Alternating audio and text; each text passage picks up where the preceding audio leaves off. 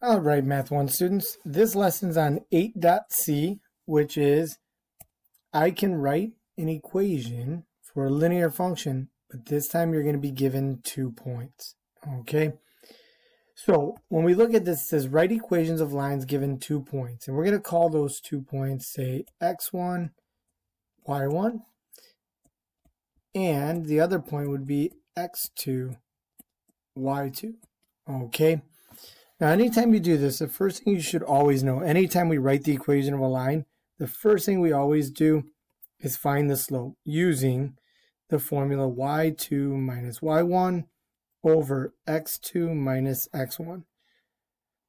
Now, once you do that, right, then what you're going to do is basically go and pick one of the points. It doesn't matter which point you use, but you're going to take the slope, you're going to take that point, and you're going to plug it into point slope form. If you're required to write it in slope intercept form, then you would go ahead, distribute the slope, and solve for y. So we're going to do a couple where it asks for point slope form, and then we'll do a couple in slope intercept. So looking at example one, write an equation in point slope form. So right away we know point slope form. That passes through 4, 5, and negative 1, negative 2. So the first thing we know we have to do is find the slope. Now, I just like to take the y's, subtract them, take the x's, subtract them, and just keep the order in mind. So I'll just say, I'm going to start there and I'm going to go y, so 5 minus my y value of the other ordered pair is negative 2 over, I'm going to start with 4 in the denominator then, minus negative 1. Now, right away, I can bling bling up top, bling bling on bottom. 5 plus 2 is 7. 4 plus 1 is 5. So right away, my slope is 7 fifths. Now I'm just going to take an ordered pair. There are two possible answers for this, right? Remember, point slope form is y minus y1 equals m times x minus x1. So all I'm going to do is pick one point. If I use Okay, if I use the ordered pair, say 4 or 5, one of my answers could be y minus the y coordinate is 5 equals my slope is 7 fifths times x minus my x coordinate is 4. This is one possible answer. If I go and look at the other ordered pair, negative 1, negative 2, I'm going to do y minus my y coordinates negative 2 equals my slope is 7 fifths times x minus the x coordinate is negative 1. Now I do have to bling bling here. So y minus negative 2 becomes plus 2. x minus negative 1 becomes plus 1.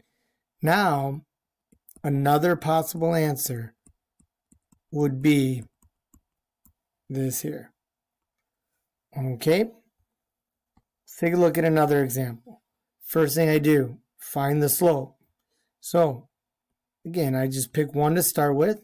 So I'm going to go negative 4 minus my other y coordinate is 3 over, I have to start with 5 in the denominator, minus negative 3 would give me negative 7 over, I do have to bling bling down there, that so that becomes 5 plus 3, which is 8.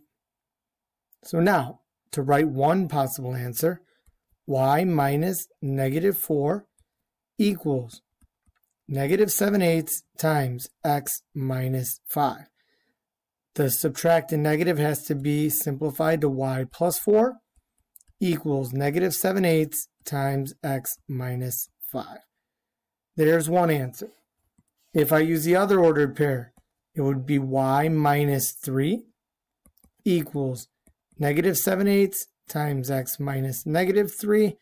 Again, you have to simplify that, so it's y minus 3 equals negative 7 eighths times x plus 3. So either of those answers would work. You only need to have one, though. So now, if we're writing it in slope intercept form, think about this here. Anytime we write it in slope intercept form, we always write it in point slope form first. So my first step is always find the slope. So I'm going to go ahead and if we're given negative 3, 2, and negative 2, negative 1, I'm going to say the slope is 2 minus negative 1 over negative 3 minus negative 2. That becomes 2 plus 1 up top, negative 3 plus 2 in the denominator. So you get 3 over negative 1, which will simplify to negative 3. So my slope is negative 3. But now, if you think about it, I told you guys it doesn't matter which ordered pair you work or you use. So let's go ahead and just use the first ordered pair, negative 3, negative 2. So we're going to write this in point slope form first. So y minus 2 equals negative 3 times x minus negative 3. So the one thing I want you guys to pay attention is, right, or attention to, is the minus 2 became like y minus this x coordinate, or this y coordinate. Then my slope, negative 3, and then my x coordinate, negative 3. So that's where those numbers are coming from. I do want to rewrite this as y minus 2 equals negative 3 times x plus 3, right? Because subtracting a negative becomes plus. And now to write this in slope-intercept form, I'm going to go ahead and distribute the negative 3. Negative 3 times x is negative 3x. Negative 3 times 3 is minus 9. Now, add 2 to both sides, and I get y equals negative 3x, and that's going to be minus 7. Now, if I were to use the other ordered pair, say this one, again, I start with point slope form. So y minus negative 1 equals negative 3, which is my slope, times x minus negative 2. Remember, this becomes y plus 1 equals negative 3 times x plus 2. Now I'm going to go ahead and distribute the negative 3. So y plus 1 equals negative 3x minus 6. And when I subtract that 1 from both sides, my point slope or my slope intercept form would be negative 3x minus 7. And if you look, no matter which point, given point you use, you get the same slope intercept form. So that, that, you know, we went through that to show you it doesn't matter which ordered pair you use. So looking at example four, right? Write an equation in slope intercept form for the line that passes through these points. First thing I do, jump to find the slope. So right away, negative 4 minus 4 over negative 3 minus negative 5. Okay, so negative 4 minus 4 is negative 8. If I bling bling down here, that's negative 3 plus 5, which is 2. Negative 8 divided by 2 is going to give me negative oh, 4. I have my slope. I'm going to pick a point. I tend to use the points with the least amount of negatives. So that's negative 3, negative 4. This is negative 5, 4. So the you know least amount of negatives leads to the least amount of mistakes. So I'm going to take that point, that slope, plug it in point slope form. So y minus 4 equals my slope, negative 4 times x minus the x coordinate of that ordered pair is negative 5. Remember, that's the same as negative 4 times x plus 5. So now I'm going to distribute the negative 4. y minus 4 equals negative 4x, and that's going to be minus 20.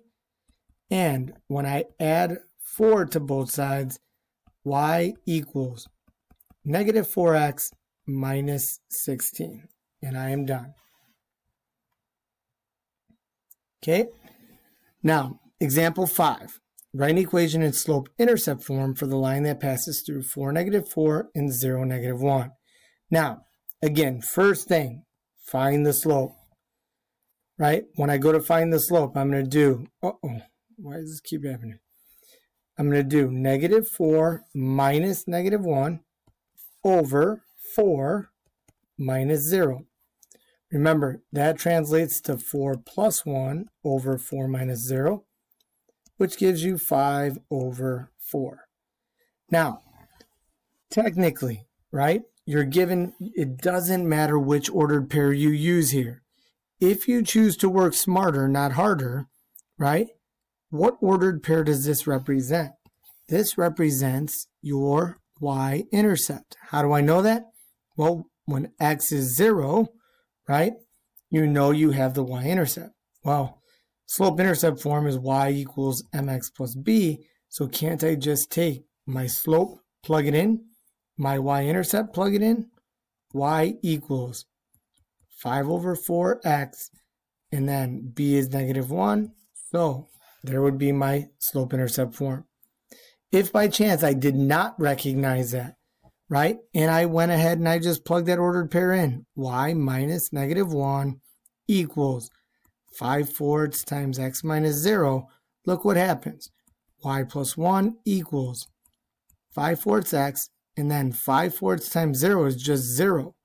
And when I subtract 1, I get y equals 5 fourths x minus 1. Same equation up above.